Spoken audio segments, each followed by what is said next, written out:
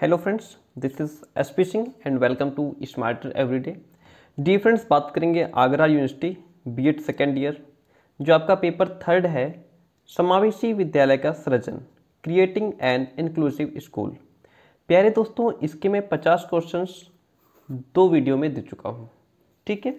और इस वीडियो में हम इक्यावन से हंड्रेड तक क्वेश्चंस कंप्लीट करेंगे, यानी कि फिफ्टी क्वेश्चंस इस क्लास में आज इस वीडियो में हम कंप्लीट करेंगे। इसके बाद दो वीडियो और मिलेंगे आपको, जिसमें फिफ्टी फिफ्टी क्वेश्चंस होंगे। ठीक है? मैं एक से पचास तक क्वेश्चंस करा चुका हूँ।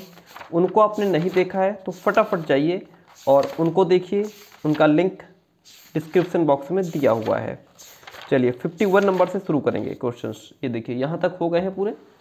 51 से शुरू करना है। मानसिक रूप से स्वस्थ व्यक्ति का लक्षण नहीं है। मानसिक रूप से स्वस्थ व्यक्ति का लक्षण नहीं है। बौद्धिक एवं संवेगात्मक अपरिपक्वता, सामाजिक सामंजस्यता, अपने व्यवसाय से संतुष्ट होना, सर्वांगीण जीवन व्यतीत करना।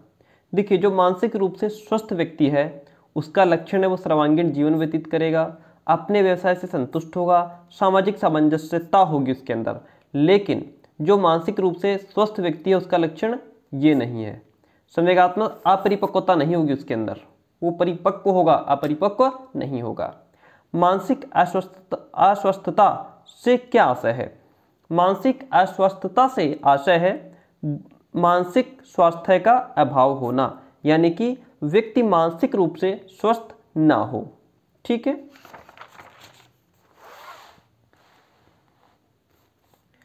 बच्चों के उत्तम मानसिक स्वास्थ्य के लिए विद्यालय में अनुशासन होना चाहिए। कैसा? अत्यधिक कठोर, लोकतंत्रीय अनुशासन अनुशासन का ध्यान नहीं रखना चाहिए या फिर प्राकृतिक अनुशासन? तो बच्चों के उत्तम मानसिक स्वास्थ्य के लिए विद्यालय में अनुशासन, लोकतंत्रीय अनुशासन होना चाहिए। मानसिक स्वास्थ्य विज्ञान का महत्व है। पारिवारिक क्षेत्र में बच्चों के विकास के क्षेत्र में, व्यावसायिक एवं औद्योगिक, यह सभी क्षेत्रों में। मानसिक स्वास्थ्य विज्ञान का अध्ययन क्षेत्र है। सामान्य व्यक्ति, मानसिक रोगी या संपूर्ण समाज तो मानसिक स्वास्थ्य विज्ञान का अध्ययन क्षेत्र है, ये सभी हैं। विशिष्ट विशिष्ट या असाधारण बालक होते हैं।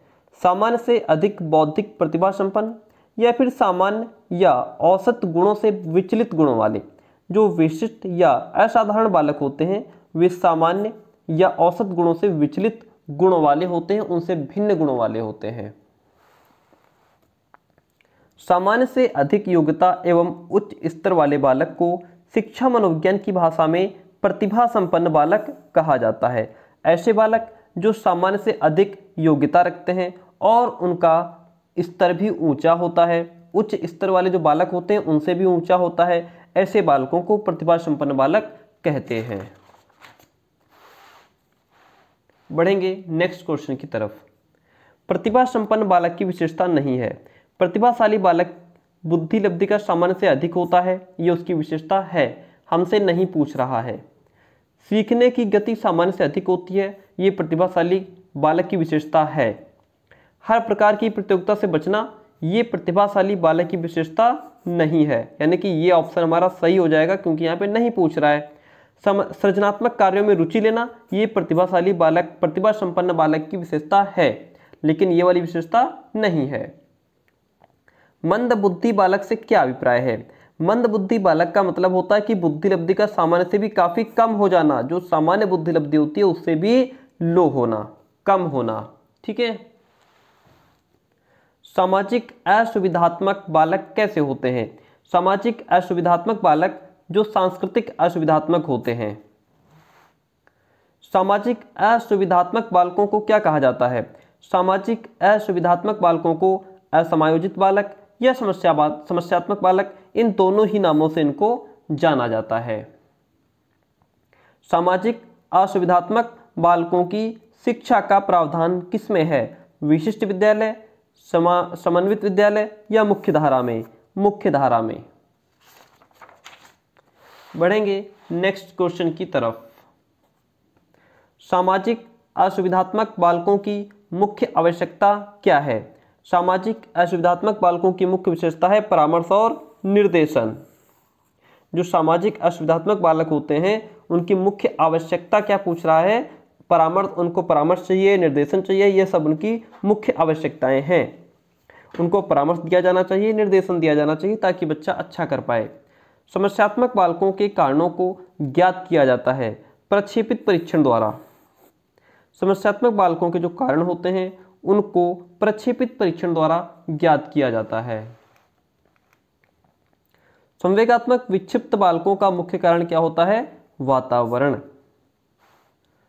संवेगात्मक विक्षिप्त बालकों की शिक्षा दी जाती है। बालकों को जो संवेगात्मक विक्षिप्त बालक होते हैं, उनको शिक्षा दी जाती है सामान्य विद्यालयों में। कहाँ? सामान्य विद्यालयों में। संवेगात्मक विक्षिप्त बालकों का व्यवहारिक लक्षण होता है अप्रसन्न रहना। संवेगात्मक विक्षिप्त जो बालक होते हैं, उनका व्यवहारिक लक्षण क्या होता है? अप्रसन्न रहना। मंद अधिगामी बालकों की पहचान का मानदंड क्या है? ए और बी दोनों, यानी कि शैक्षिक उपलब्धि और मानसिक स्तर। मंद अधिगामी बालकों की पहचान का मानदंड उनकी शैक्षिक उपलब्धि और मानसिक स्तर है, यानी कि ए और बी दोनों का ऑप्शन सही हो जाएगा। चलिए, इसके बाद बढ़ते हैं नेक्स्ट क्वेश्चन की तरफ़। Question number sixty nine.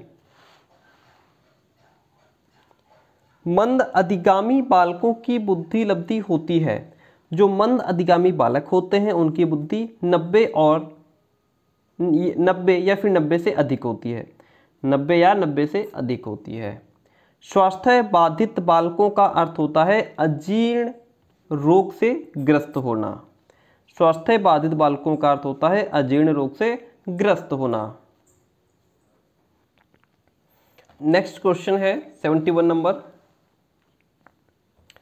स्वास्थ्य बाधित बालकों का बुद्धि स्तर सामान्य से अधिक होता है। जो स्वास्थ्य बाधित बालक होते हैं, उनका जो आईक्यू लेवल होता है, वो सामान्य से अधिक होता है। समायोजन या सामंजस्य का लक्षण नहीं है। असंतुलन, जो असंतुलन है, वह समायोजन या सामंजस्य का लक्षण नहीं है।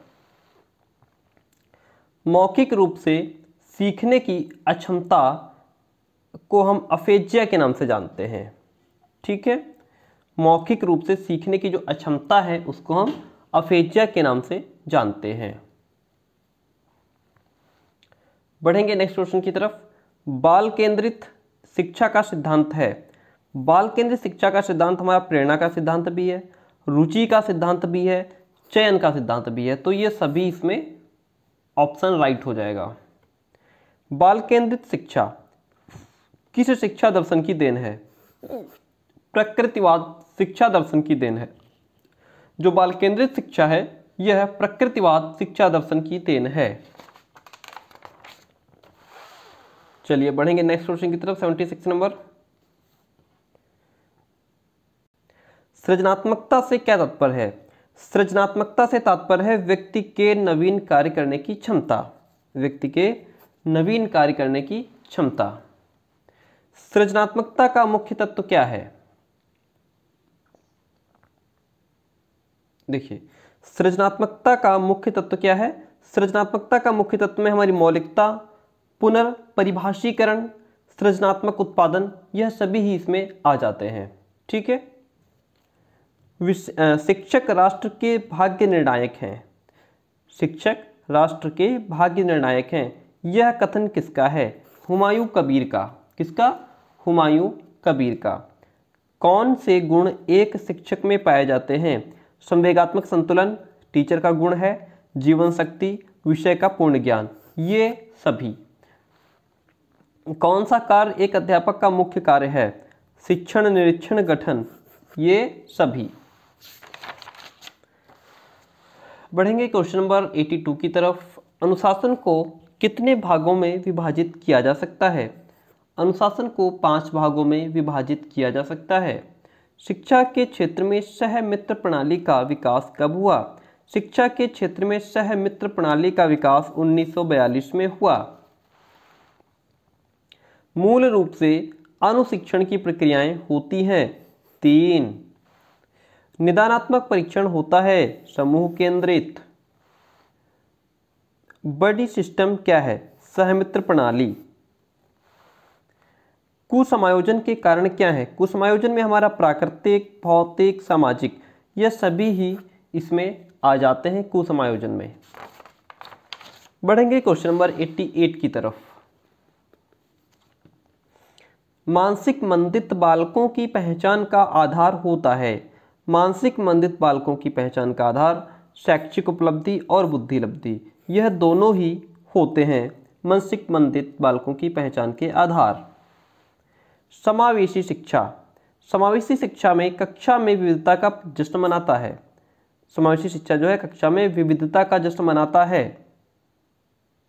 स्वास्थ्य बाधित बालक का अर्थ होता है अजीर्ण रोग से ग्रस्त। ये शायद क्वेश्चन पहले भी दे चुके हैं। दृष्टि बाधित के लिए अंतरराष्ट्रीय दृष्टि बाधित के लिए राष्ट्रीय शिक्षा संस्थान कहाँ स्थित है? देहरादून में। बालक के मानसिक स्वास्थ्य में विद्यालय की भूमिका क्या है? शारीरिक स्वास्थ्य, रक्षा के उपाय करना, शिक्षक का सहानुभूतिपूर्ण व्यवहार, निर्देशन एवं परामर्श की व्यवस्था, यह सभी ही भूमिकाएँ जो है, वह मानसिक स्वास्थ्य में विद्यालय की भूमिकाएँ हैं। बढ़ेंगे नेक्स्ट क्वेश्चन की तरफ़। क्वेश्चन नंबर 93 समस्यात्मक बालकों की उपचार विधि कौन सी है? समस्यात्मक बालकों की जो उपचार विधि है, वह परिवार में उपचार है, विद्यालय में भी उपचार है मनोवैज्ञानिक परीक्षण है, यह सभी। संवेगात्मक विक्षिप्त बालक संबंधित होते हैं, किससे? शारीरिक बाधित, मंद अधिगामी या अपराधी? ये इनमें से कोई नहीं। स्वास्थ्य बाधित बालक अक्सर होते हैं, मानसिक मंदित या बहुबाधित। जो स्वास्थ्य बाधित बालक होते हैं, वह बहुबाधित होते हैं। शारीरिक रूप से बाधितों का प्रकार है अस्थि बाधित पिछड़ेपन का कारण हो सकता है। पिछड़ेपन का कारण उनका शारीरिक कारण भी हो सकता है। हो सकता है उनको जो है स्वास्थ्य ना सही रहता हो। हो सकता है मानसिक रूप से परेशान हो या उनमें एटमॉस्फेयर का फ़र्क पड़ रहा हो तो ये सभी हो जाएँगे। पिछड़ेपन के कारण में ये सभी आ जाएँगे। अच्छे शिक्षक की निशानी, संयम होना चाहिए, उत्साह होना चाहिए, ये दोनों। बढ़ेंगे क्वेश्चन नंबर 99 की तरफ़। व्यक्ति को सामंजस्य स्थापित करने में बाधक कारकों का सामना करना पड़ता है। परिस्थितिजन्य कारक या विभिन्न व्यक्तिगत दोष। तो व्यक्ति को जो सामंजस्य स्थापित करने में बाधक कारक है, वह विभिन्न व्यक्तिगत दोष है। हंड्रेड नंबर क्वेश्चन पे पढ़ेंगे। बालक के मानसिक स्वास्थ्य के लिए कौन सा पारिवारिक कारक जिम्मेदार होता है? बालक के मानसिक स्वास्थ्य के लिए माता पिता का मानसिक स्वास्थ्य होना भी ज़रूरी है, परिवार का शांतिपूर्ण वातावरण वातावरण होना भी बहुत आवश्यक है, और माता पिता का उचित व्यवहार, सदव्यवहार, यह सभी हमारे बालक के मानसिक स्वास्थ्य के लिए जिम्मेदार होते हैं। तो माय डियर फ्रेंड्स यहाँ तक हमारे हंड्रेड क्वेश्चंस कंप्लीट हो गए हैं। इससे पहले वाली दो क्लासेस हैं, जिसमें मैंने 25-25 क्वेश्चन दिए हैं। और 50 क्वेश्चंस इस वाली क्लास में हो गए आपके। तो 100 क्वेश्चंस कंप्लीट हो गए।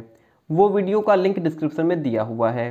अब हम नेक्स्ट क्लास में बात करेंगे 101 से लेकर के 150 तक। डेढ़ सौ फिफ्टी क्वेश्चन नेक्स्ट वाले क्लास में कंप्लीट करने वाले हैं।